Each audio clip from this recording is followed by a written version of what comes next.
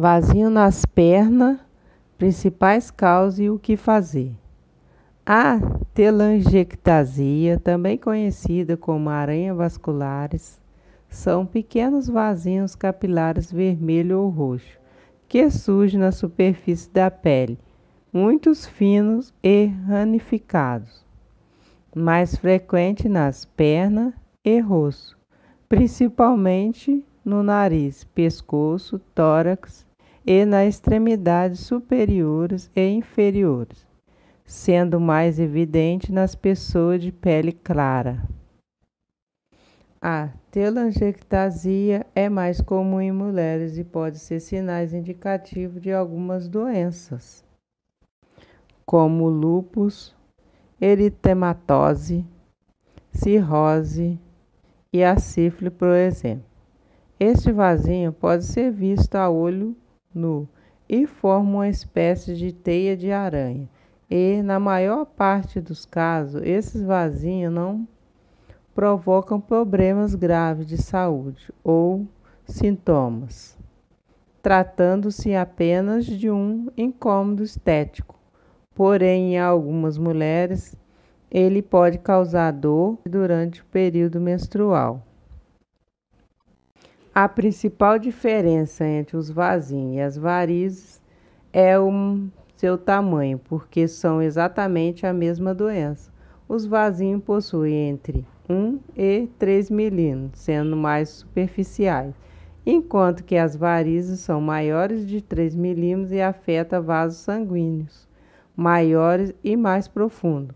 Um vasinho não pode virar uma varize, porque ele já atingiu o seu ponto máximo mas o que pode acontecer é a pessoa ter o mesmo tempo vasinhos e varizes.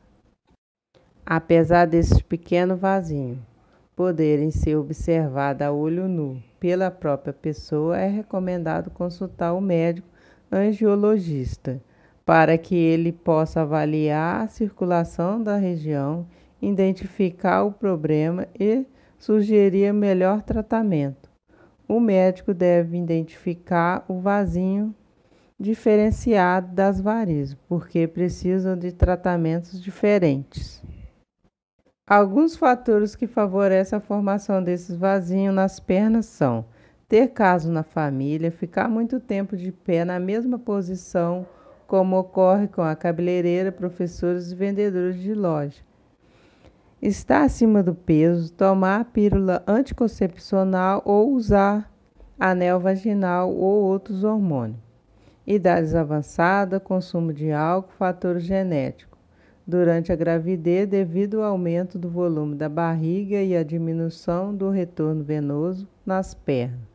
Os vasinhos nas pernas afetam principalmente as mulheres e são mais visíveis na pele muito clara, ficando mais disfarçado quando a pele está mais bronzeada, em tons de pele morena, mulata ou negra. Como é feito o tratamento para secar os vasinhos? Os vasinhos nas pernas podem ser eliminados pelo médico angiologista através da realização de uma técnica chamada de escleroterapia, também conhecida por aplicações com espuma.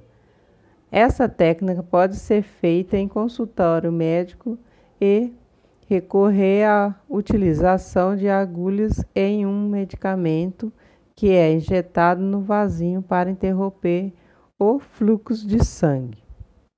Isto seca esses vasinhos, eliminando o caminho da circulação sanguínea porque o tratamento para as telangiectasia no rosto normalmente é feito por meio de laser. Todo o tratamento pode ser complementado através da realização de dietas e exercício físico orientado pelo médico, assim como pode ser recomendado o uso de meias elásticas. O médico pode também recomendar um controle hormonal para prevenir o surgimento de novos vasinhos, podendo ser recomendada a interrupção da pílula anticoncepcional, por exemplo, além de poder recomendar o uso de ácido ascórbico via oral e dermobrasão local. Como é feito o diagnóstico? O diagnóstico dos vasinhos é feito por meio de exames de laboratório e de imagem que são indicados com o objetivo de descartar outras doenças relacionadas, por exemplo, o médico por recomendar a realização de exame de sangue, exame para avaliar o funcionamento do fígado, raio-x, tomografia ou ressonância magnética. Obrigado por assistir esse vídeo. Não se esqueça de se inscrever no canal quem não for inscrito, deixar o seu joinha, compartilhar o vídeo e tchau e até o próximo.